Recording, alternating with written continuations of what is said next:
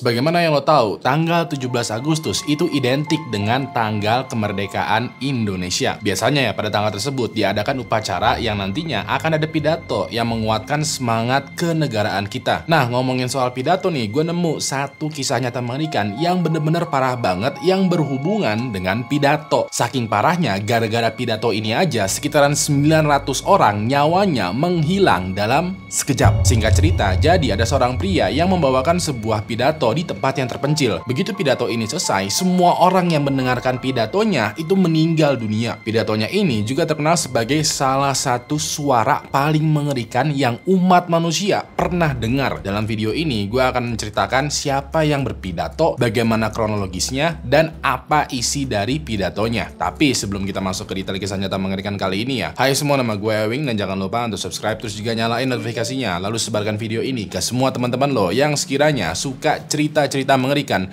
berdasarkan kisah nyata. Kalau siap, langsung aja kita mulai kisah nyata mengerikan untuk episode kali ini.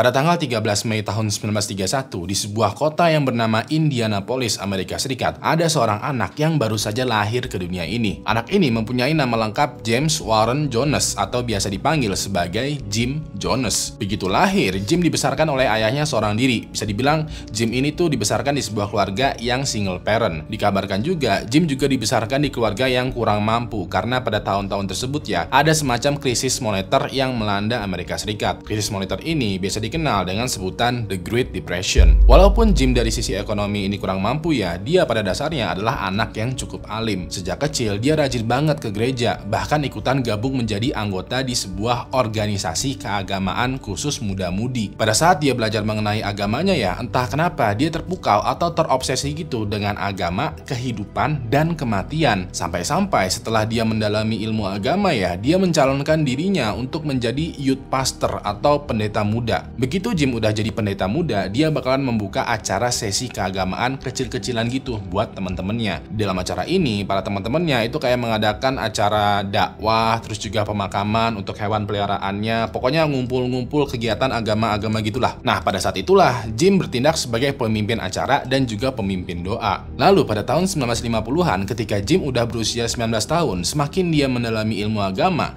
hidupnya semakin ke sini ya semakin ke sana. Waktu itu dia mengklaim mengklaim bahwa dia punya kekuatan psikis di mana dia bisa meramal masa depan. Dia juga bilang kalau dia mempunyai kekuatan untuk menyembuhkan berbagai macam penyakit dengan doanya. Yang lebih parahnya lagi adalah dia waktu itu mengklaim bahwa dia itu bisa terbang. Untuk membuktikannya, dia pernah mengundang semua teman-temannya untuk menyaksikan dia melompat dari atap rumah. Tapi pas dia melompat dari atap rumah, dia malah terjatuh dan tangannya sempat patah. Walaupun dia gagal mempraktekkan mujizatnya ya, banyak orang-orang nih yang terpukau dengan Jim. Pada waktu itu ya, Jim terbilang sebagai pemuda yang perawakannya good looking, badannya tegap, wajahnya ganteng, berwibawa, alim, dan ucapannya tuh kayak dia bisa menggugah hati seseorang. Banyak banget cewek-cewek seumuran dia yang jatuh cinta pada pandangan pertama ketika bertemu dengan Jim. Laki-laki pun juga pada kagum dengan Jim dikarenakan ya Jim ini punya karisma dan kepribadian layaknya seorang pemimpin. Karena hal ini, Jim jadi punya banyak followers tuh. Yang mereka nggak tahu adalah Jim menjadikan dirinya itu penuh dengan karisma layaknya seorang pemimpin itu karena dia belajar dari buku-buku komunisme dan sosialisme. Ternyata ya selain dia terobsesi dengan agama, dia juga terobsesi dengan pemimpin besar seperti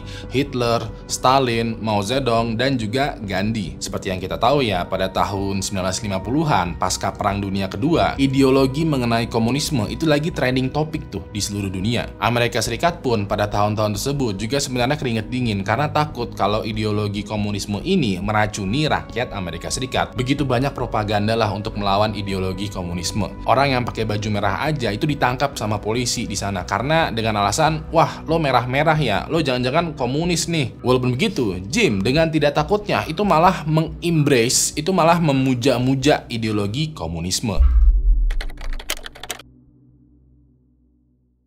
Lalu pada tahun 1955, Jim mendirikan sebuah gereja yang dia beri nama People's Temple. Pada gerejanya, dia mengajarkan sebuah ajaran di mana dia menggabungkan agama Kristen dengan ideologi komunisme. Di dalam gerejanya ini, selain dia berdakwah tentang agama Kristen, dia juga menyebarkan ideologi politik komunisme. Yang lebih hebatnya lagi adalah ternyata banyak orang yang tertarik dengan ajarannya Jim. Perlu dipahami ya, pada tahun 1950-an sampai 1970-an, tingkat rasisme di Amerika itu lagi tinggi banget lo bakalan diperlakukan beda kalau warna kulit lo itu tuh tidak putih. Lo bahkan diperlakukan beda kalau mata lo itu sipit. Pokoknya kalau bentukan fisik lo beda, lo bakalan didiskriminasi. Nah, gerejanya Jim ini menawarkan kesetaraan dan juga toleransi. Alhasil, banyak tuh orang-orang yang terkena imbas dari rasisme dan membutuhkan toleransi perlindungan itu ikutan join gerejanya Jim. Di dalam gerejanya Jim, mereka semua mendapatkan fasilitas dan juga uh, perhatian. Alhasil, semakin banyak orang yang join tuh ke gerejanya Jim. Semakin banyak orang yang join, semakin banyak pula uang yang masuk ke gerejanya Jim. Otomatis kehidupan di sekitaran gereja sekarang menjadi semakin baik dan semakin maju. Nah, karena Jim dianggap sebagai pembawa perdamaian ya, pemimpin pemerintahan di kota Indianapolis itu menjadikan Jim sebagai pemimpin dari penegakan hak asasi manusia di kotanya. Pada saat penobatan ini, pada dasarnya Jim bekerja dengan baik. Dia bisa mengurangi itu tingkat rasisme di kota Indianapolis. Alhasil orang-orang orang yang di kota Indianapolis yang biasanya mendapatkan diskriminasi sekarang malah enggak berkat perjuangannya Jim. Walaupun begitu ya, walaupun dinilai sebagai seorang pendeta yang membawa perdamaian, jauh di dalam pikirannya Jim terdapat sebuah paranoid. Pada saat itu ya, Jim berparanoid dan berpikiran bahwa sebentar lagi akan ada perang nuklir di Amerika Serikat. Dia bilang bahwa perang nuklir ini akan membawa kiamat buat kita semua. Ya udah deh, Jim pun pergi menuju Brazil dengan misi untuk mencari rumah baru untuk pengikutnya dan juga gerejanya. Pas Jim sampai ke Brazil, dia mencoba tuh menyebarkan ajaran People's Temple. Cuman ajaran ini dinilai sesat dan jadinya tidak efektif. Selain itu juga, dia tidak menemukan markas yang cocok untuk gereja dan juga pengikutnya. Mau nggak mau, Jim balik lagi ke Indianapolis, Amerika Serikat. Pas Jim balik, dia agak kaget karena banyak pengikutnya ini udah pada bubar. Karena banyak pengikutnya pada bubar, pada pergi, Otomatis duitnya gerejanya Jim jadi berkurang. Mau nggak mau, Jim menjual gerejanya dan beberapa aset ajarannya karena dia dia butuh dana operasional. Pada tahun itu juga, Jim menemukan informasi bahwa ternyata ya negara bagian Amerika Serikat yang besar kemungkinan selamat dari serangan nuklir adalah California. Kebetulan di California itu banyak banget bunker yang dibuat oleh pemerintah dan juga dibuat mandiri. Masyarakat di sana juga udah pada siap-siap nih dengan kiamat akibat perang nuklir. Dirasa ini adalah jawaban dari paranoidnya Jim, dia beserta dengan seluruh jamaahnya itu pindah menuju California, Amerika Serikat.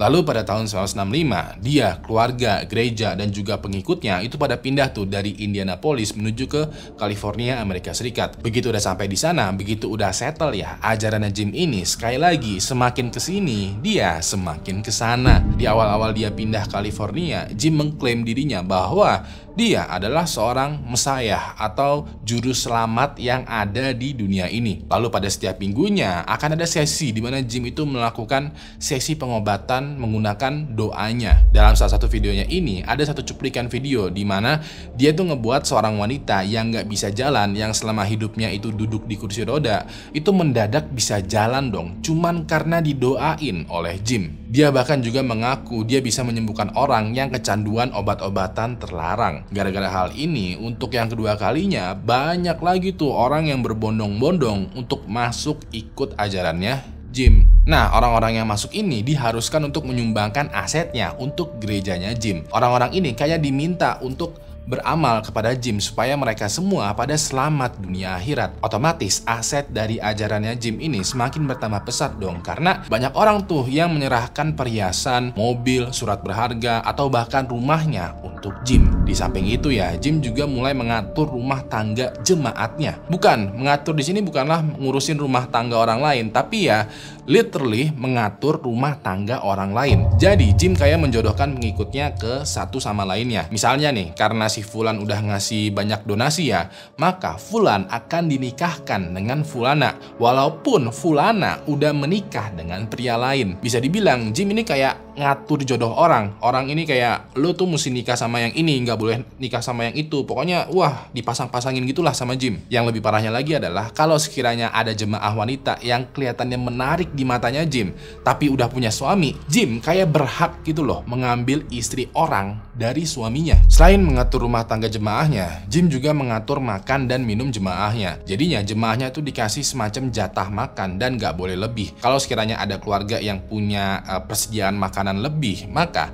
Jim berhak mengambil persediaan makanan tersebut. Dan kalau sekiranya ada orang yang membantah amanat dari Jim, maka jemaatnya itu bakalan diambil jatah makannya, dihukum, dipermalukan, dan diambil lagi makin banyak lagi harta yang diambil. Bisa dibilang ya, Jim kayak mengambil apa pun dan siapa pun yang dia kehendaki dari jemaahnya. Dan semuanya ini dia lakukan dengan dalih atas nama agama. Karena ajaran Jim ini dinilai kontroversial ya, beberapa orang ada yang keluar dari ajarannya Jim. Orang-orang yang keluar ini lalu melaporkan ke media dan juga polisi. Walaupun udah dilaporin, Jim diam-diam ternyata membuat markas gereja yang baru ini dikawal oleh pasukan bersenjata. Di setiap sudut halaman gereja dan rumahnya itu ada pasukan bersenjata yang menjaga Jim. Jim melakukan hal ini karena dia juga sadar kalau semakin tinggi hidupnya, maka semakin nggak aman pula nih Eh, keamanannya. Maka dari itu dia membuat semacam pertahanan di sekitaran gereja, rumahnya, dan dirinya. Lalu pada sekitaran tahun 1970-an dikarenakan duitnya Jim udah banyak banget ya, dia memindahkan markas gerejanya menuju ke San Francisco, Amerika Serikat. Di sana dia mulai menyebarkan lagi ajarannya. Bahkan dia juga punya semacam divisi rekrutmen yang tugasnya adalah mengajak orang-orang untuk masuk ke ajarannya Jim. Di sana juga Jim mulai mengembangkan sayapnya. Dia mulai membuat koneksi ke berbagai macam anggota politik, artis, musisi, dan orang-orang penting. Dia melakukan hal ini dengan niatan semakin Jim semakin terkenal, maka semakin banyak orang yang ingin join. Semakin banyak yang ingin join, semakin powerful dan semakin tajir juga dirinya. Tapi di satu sisi, semakin Jim terkenal, maka semakin dikenal juga kebusukannya. Mulai banyak nih orang yang udah keluar dari ajarannya Jim itu speak up mengenai keburukannya Jim. Jim yang walaupun di mata jemaahnya adalah seorang mesayah ya, seorang juru selamat dunia, ternyata di balik itu semua adalah seorang yang Gak bener, dikabarkan dari pembelot,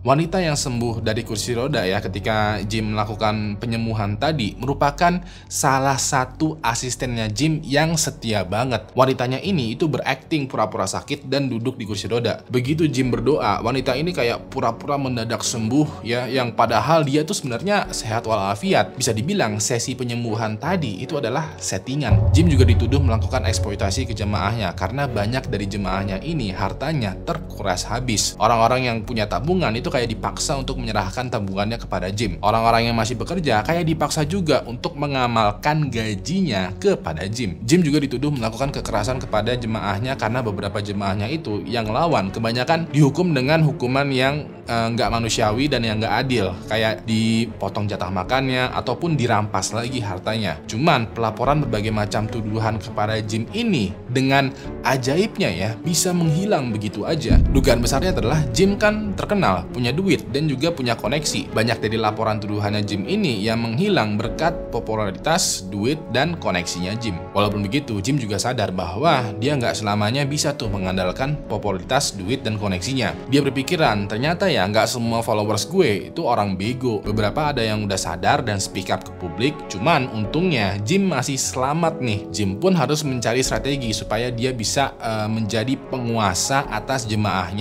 sesuka hatinya tanpa ada campur dari media ataupun juga polisi. Solusinya adalah dia mesti pindah negara.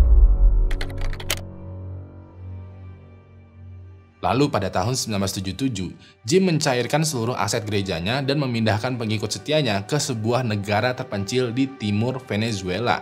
Negaranya ini bernama Guyana. Kebetulan negara Guyana pada tahun tersebut ya menganut sistem pemerintahan sosialisme. Bisa dibilang sosialisme ini masih sejalan tuh dengan paham komunisme yang dianut oleh Jim dan juga ajarannya. Tapi negara Guyana ini bisa dibilang adalah negara kecil yang kebanyakan dari wilayahnya adalah hutan yang masih asri banget. Mau nggak mau, begitu Jim beserta dengan jemaahnya sampai di Guyana, mereka semua mesti bekerja untuk menebang hutan, mendirikan rumah, sekolah, rumah sakit, dan lain bangunan sebagainya. Eh tunggu, nggak semua sih, tapi hanya jemaahnya doang yang kerja. Jadi begitu Jim dan jemaahnya sampai di Guyana, Jim dengan pasukan bersenjatanya ya itu langsung menyita paspor jemaahnya. Setelah itu jemaahnya ini mulai dipaksa untuk bekerja, membangun rumah dan seluruh fasilitas publik. Meanwhile, sementara itu Jim bersantai di pemukimannya dan mulai membuat peraturan yang kurang lebihnya sama ketika dia masih di Amerika Serikat.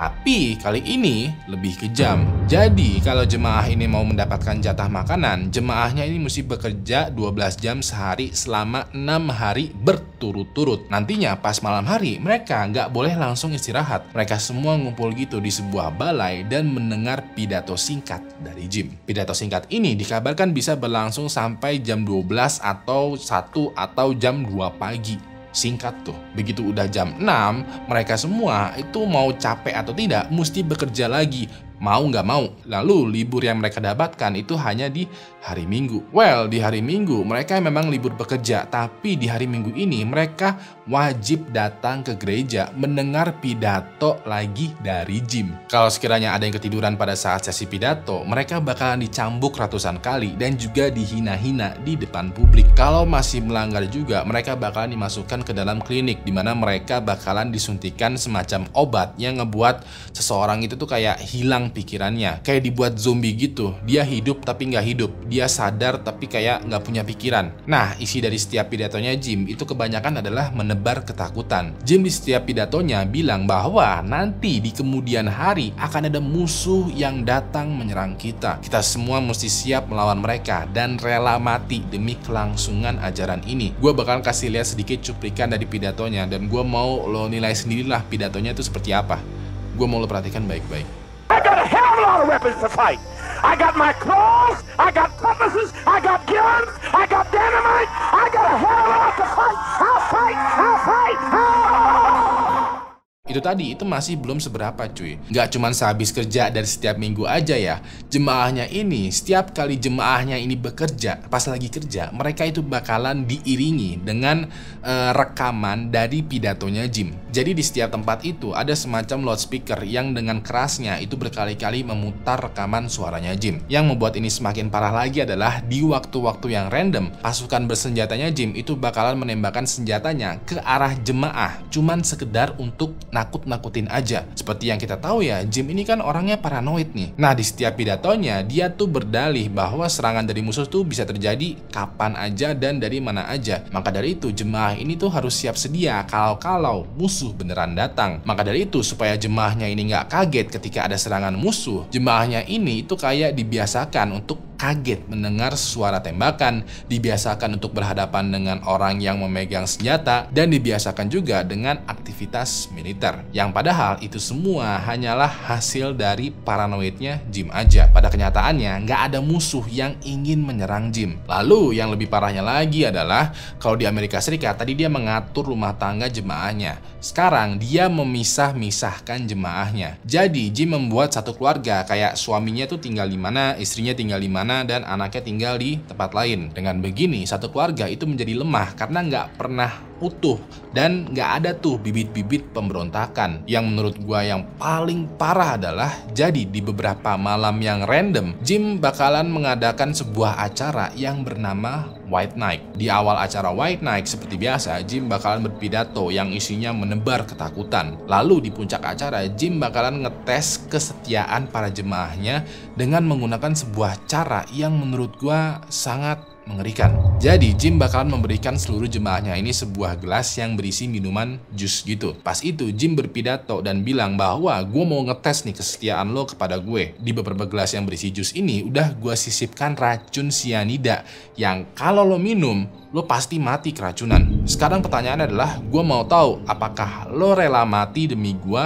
atau enggak. Nah, jemaahnya ini mesti minum jus yang mungkin udah dicampur racun sianida. Kalau ada jemaah yang nggak minum, itu artinya jemaahnya tuh nggak setia tuh kepada Jim. Kalau ada jemaah yang nggak setia, pastinya bakalan dihukum atau dibuang ke hutan. Tapi kalau diminum, bisa jadi gelas yang berisi jus yang ada di tangan mereka itu berisi sianida. Mau nggak mau ya, para jemaah ini mempertaruhkan tuh hidupnya di sebuah gelas berisi jus. Pas semuanya udah minum, surprise-surprise, Gak ada yang meninggal dong. Ternyata acara White Night ini hanyalah sebuah tes untuk mengetahui apakah jemaahnya pada setia kepada Jim atau enggak. Walaupun begitu, jemaahnya ini deg-degan juga ya, soalnya ya hidup dan mati mereka itu cuma ditentukan oleh segelas jus. Alhasil kesimpulannya adalah jemaah yang ikutan Jim ke Guyana, selain mereka diperlakukan tidak baik, dibuat kerja paksa, dikecam dengan senjata, dibuat paranoid, mereka juga nggak bisa kabur. Mereka dijadikan tawanan karena selain tempat ini dikelilingi oleh pasukan bersenjatanya Jim, tempat ini juga dikelilingi oleh hutan yang masih asri banget. Kalaupun jemaahnya sekiranya bisa ngumpet-ngumpet kabur dari pasukan bersenjata dan masuk ke hutan, paling-paling ya jemaahnya ini bakalan diserang oleh singa panther, ular, atau apa pun lah ancaman yang ada di hutan. Bahkan Jim sendiri menantang jemaahnya, kayak coba aja lo kabur. Nah, berbagai macam perlakuan yang tidak manusiawi tadi ya, itu pada akhirnya terdengar tuh oleh pemerintah Amerika Serikat. Pemerintah Amerika Serikat pun mengirimkan salah satu utusannya untuk berkunjung ke kota buatan Jim. Lalu pada tanggal 17 November tahun 1978, setelah berkali-kali ditolak untuk datang, akhirnya pemerintah Amerika Serikat diizinkan untuk mengirimkan utusannya. Waktu itu yang datang ke Guyana ke kotanya Jim adalah salah satu anggota Kongres California yang bernama Leo Ryan. Leo tidak datang sendirian, tapi juga datang membawa pasukannya nih ya. Waktu itu dia datang membawa tim legal, beberapa jurnalis NBC dan juga kerabat dari keluarga yang tinggal di kota kotanya Jim. Semua perjalanannya Leo itu didokumentasikan oleh seorang kameramen jurnalis NBC. Pas itu ya, Leo landing di sebuah bandara kecil yang terlihat terbengkalai yang ada di Guyana. Begitu landing, Leo beserta dengan timnya ini disambut tuh oleh warga dari kotanya Jim. Leo pun diarak dari bandara menuju ke kotanya Jim. Begitu sampai di kota, mereka banyak lagi nih yang menyambut Leo. Ada anak kecil yang bernyanyi dan menari senang. Ada yang menulis spanduk dengan karton warna-warni mengungkapkan kebahagiaan mereka mereka. Selain itu, Leo disambut langsung juga oleh Jim. Mereka ngobrol sebentar tuh dengan Jim dan Jim mengajak Leo untuk melihat fasilitas di kotanya. Dikasih lihat tuh persediaan makanan mereka, pertanian, peternakan, fasilitas kesehatan, balai kota, sekolahan, dan lain sebagainya. Begitu udah malam ya, seperti biasa Jim melakukan pidatonya lagi. Kali ini seluruh persediaan makanan itu dikeluarkan dan terjadilah pesta makan-makan. Semua orang yang di sana pada menari, makan-makan, minum-minum, nyanyi-nyanyi, ketawa-tawa, pokoknya bahagialah beberapa warga yang diwawancarai oleh jurnalis NBC bilang bahwa ya kehidupan di kotanya Jim ini setiap malam ya begini pada pesta-pesta pada seru-seruan. Leo dalam hatinya itu juga ikutan senang ya bahwa ternyata kota yang dibangun oleh Jim ini itu sukses loh. Semua orangnya bahagia loh. Cuma di satu sisi lain dia juga punya firasat yang mengganjal. Kayak kalau semua orang bahagia ya kalau setiap hari ada pesta kenapa ada kabar tidak mengenakan datang dari sini? Pas itu ya Jim tiba-tiba kayak memberikan Leo panggung gitu untuk memberikan kata-kata sambutan. Leo di kesempatan tadi itu bilang bahwa dia ikutan senang kalau kota yang dibangun Jim ini tuh sukses. Leo memuji masyarakat yang ada di sana dan juga memuji kepemimpinannya Jim. Semua orang yang ada di sana itu bersorak gembira dong ya. Setelah sambutannya singkat ini pestanya pun berlanjut kembali. Ketika pestanya udah selesai Leo masuk tuh ke sebuah rumah yang emang dibuat khusus untuk tamu istimewa. Nah, pada saat Leo beristirahat, salah satu jurnalis NBC itu ada yang sebat-sebat sendirian di luar rumah. Pas sebat-sebat ini, tiba-tiba aja ada satu orang random gitu yang memasukkan kertas ke dalam saku celananya jurnalis. Pas jurnalis ambil kertasnya ini ya, pas dia baca, dia langsung masuk bergegas untuk mengabarkan Leo. Ternyata pas Leo baca, catatan di dalam kertas ini bertuliskan, tolong keluarkan kami dari sini.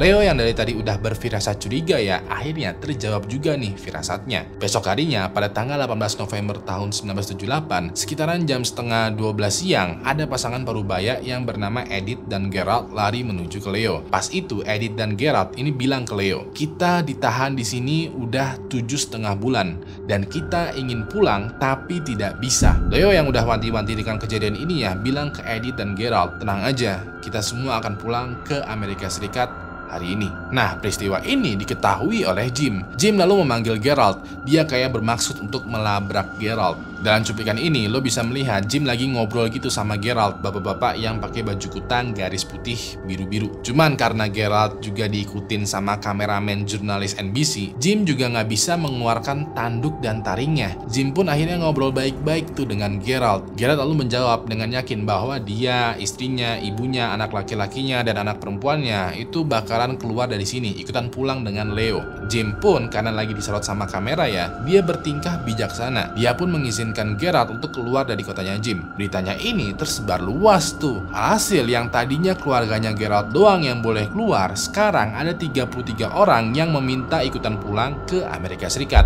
Jim walaupun ada kesel ya, tapi dia lagi di depan kamera, ya mau nggak mau itu mengizinkan keluarga Geralt plus 33 orang untuk pulang ke Amerika Serikat bareng dengan Leo. Ya udah deh, Geralt dan 33 orang ini itu langsung packing-packing bersiap-siap ya pulang atau keluar dari lubang neraka yang dibuat oleh Jim. Begitu semuanya siap, Leo, Geralt, dan 33 orang ini semua naik traktor dan pergi menuju ke bandara kemarin. Begitu sampai di bandara kecil ini, mereka turun tuh dari traktor, siap-siap mau naik pesawat. Pas mereka mau naik pesawat, tiba-tiba aja dari belakang sana itu muncul pasukan bersenjatanya Jim. Mereka menepikan mobilnya dan tanpa babi bu langsung menembakkan senjata mereka ke arah pesawat yang lagi ingin dinaikkan dinaikin oleh Leo, Geralt, dan 33 orang. Yang lebih gilanya lagi adalah ternyata dari 33 orang yang ingin kabur, di situ itu tuh ada pengkhianat. Dia pura-pura ingin kabur, tapi ternyata dia malah ikutan menembak ke orang-orang yang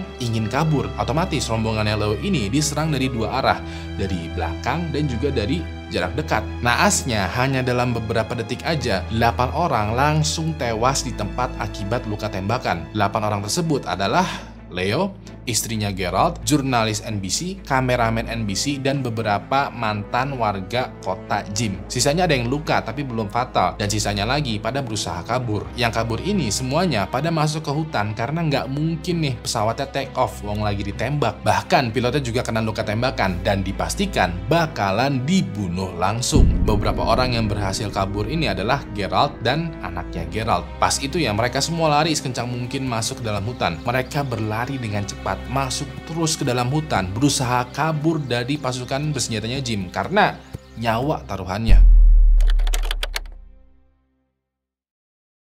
Sementara itu, masih di hari yang sama, di sekitaran jam setengah lima sore, Jim mengumpulkan seluruh pengikutnya tuh. Mereka semua dipaksa untuk berkumpul oleh pasukan bersenjata yang udah diperintahkan oleh Jim. Pas itu, seluruh orang yang ada di kotanya Jim ini berkumpul di sebuah balai kota yang kecil gitu. Begitu semuanya udah berkumpul ya, Jim melakukan pidato selama 45 menit. Rekaman asli dari pidato ini bisa lo search di YouTube ya. Terakhir kali gue cek masih ada kok. Cuman untuk mempersingkat durasi ya, gue bakalan jelasin poin pentingnya. Jadi, dalam pidatonya ini, Jim bercerita bahwa Leo sekarang udah pulang menuju ke Amerika yang nanti bakalan datang lagi ke sini membawa pasukannya. Pada saat itu, mereka bakalan membawa banyak sekali persenjataan. Pada saat itu, mereka akan membawa peperangan. Kita semua dipastikan akan kalah berperang. Kita tidak mungkin melawan persenjataan Amerika Serikat. Daripada kita kalah berperang, kita lebih baik menang sebelum berperang dengan cara meminum jus ini. Pas itu ya, pasukan bersenjatanya Jim ini mengeluarkan banyak sekali gelas yang berisi jus. Dia lalu memerintahkan untuk semua orang yang ada di sana, jemaahnya ini, untuk meminum jusnya ini. Mendengar pidato yang terdengar aneh nih ya, banyak dari orang itu menolak untuk meminum jus ini. Kayak untuk ngambil gelasnya aja itu nggak mau. Tapi dikarenakan mereka dipaksa oleh pasukan bersenjata, mereka semua pada akhirnya masing-masing memegang satu gelas. Bahkan anak kecil juga ikutan memegang satu gelas. Nah, beberapa orang ada yang suka rela tuh meminum gelas berisi jus ini, begitu diperintahkan oleh Jim. Bahkan mereka yang masih setia dengan Jim itu masih beranggapan kalau Jim ini adalah seorang mesayah, seorang juru selamat di dunia ini. Mereka di momen terakhir sebelum meminum jus ini ya kayak berterima kasih, sujud sujud syukur, nangis-nangis gitu. Kayak wah thank you banget lah Jim. Mereka melakukan itu karena mereka masih beranggapan kalau Jim itu ya adalah semacam jelmaan Tuhan yang mereka kayak beneran membawa berkah. Di satu sisi lain anak-anak yang dibawa sama orang tuanya ini itu pada pada bingung ya. Namanya juga anak-anak masih belum paham banget lah ini rame-rame ada apa sih. Cuman insting atau naluri mereka itu tahu kalau jus yang ada di tangannya mereka itu kayak mencurigakan. Anak-anak ini pada nggak mau minum dan namanya juga anak-anak ya. Mereka itu nggak mau dipaksa kalau udah bilang nggak mau. Yang lebih parahnya lagi adalah orang tua yang setia dengan Jim yang anak-anaknya ini malah nggak mau minum itu kayak pada memaksa anak-anaknya untuk meminum jus kayak dicekokin gitu. Padahal jelas-jelas anaknya ini nggak mau karena dicekokin paksa ya anak-anaknya ini mau nggak mau meminum jusnya. Begitu anaknya udah meminum jus, orang tuanya lalu menyusul meminum juga. Beberapa detik kemudian, orang-orang yang meminum jus ini termasuk juga dengan anak-anaknya ya, mulutnya langsung berbusa dan tubuhnya kejang-kejang. Selang detik kemudian, badannya lemas, terjatuh, dan mereka langsung meninggal dunia. Melihat reaksi yang begitu mengerikan ini ya, orang-orang yang gak mau minum jus semakin gak mau dong untuk minum. Mereka yakin bahwa jusnya ini kali ini udah beneran diracunin dengan sianida. Mereka berusaha melawan cuman sia-sia karena ternyata seluruh balai kota ini itu tuh udah dikepung sama pasukan bersenjatanya Jim. Pas itu pasukan bersenjata Jim ini bilang kayak, lo pilih mana? Minum jusnya atau lo gue tembak mati. Semakin parah tuh, semakin parah lagi nih kerusuhannya. Orang-orang mulai melawan. Beberapa ada yang ya udah pasrah aja minum. Beberapa lagi ada yang terpaksa minum dan beberapa lagi ada yang dicekokin untuk minum. Yang jelas semua orang ini jadinya meminum jus yang diberikan oleh Jim. Dan yang jelas juga semua orang yang baru aja meminum jus ini meninggal dunia. Setelah semua jemaahnya Jim ini meninggal ya, pasukan bersenjatanya Jim ini pada menembak kepalanya masing-masing. Setelah pasukannya Jim meninggal, Jim juga ikutan. Dia lalu menembakkan kepalanya sendiri. Tercatat ya pada hari itu, pada tanggal 18 November tahun 1978, 909 orang meninggal akibat meminum jus yang dicampur dengan sianida. 9 orang lagi itu meninggal akibat tertembak di bandara. Total korban pada hari itu mencapai 918 orang. Bisa dibilang ya ini merupakan salah satu peristiwa kematian massal akibat ajaran sesat terbanyak di sepanjang sejarah modern. Semuanya gara-gara pidato dari seorang pria yang bernama Jim Jonas. So, itu adalah cerita tentang sebuah kisah nyata mengerikan mengenai pidato paling mengerikan di dunia. Gue mau berterima kasih banget buat lo semua yang udah nonton video ini dari awal sampai habis, terutama juga kepada member dari Anti Halu Halu Club. Yang mau ikutan join membership dari Anti Halu Halu Club, klik aja tombol join di bawah ini atau link yang ada di deskripsi. Kalau lo sekiranya masih butuh asupan video horor, lo bisa kunjungin video yang ada di sebelah kanan ini, karena di sana gue bercerita tentang tiga kisah nyata mengerikan dari internet. Terakhir nama gue Ewing dan Sampai jumpa lagi di kasus mengerikan selanjutnya. Good night.